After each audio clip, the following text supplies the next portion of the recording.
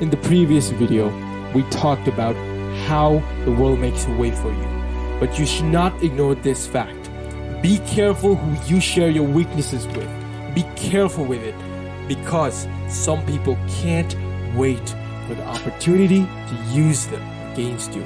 So learn to recognize the fuckers who are there to hurt you. If you want to know how to deal with manipulators, there's a previous video that you can watch. But learn to identify. If you can smell the ones who are there to harm you, that's good.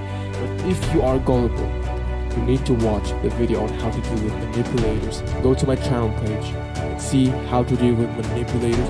It may as well change your life. So start now because there are predators out there. They are willing to do anything to use you, to hurt you, to get where they want to be. So learn to deal with it.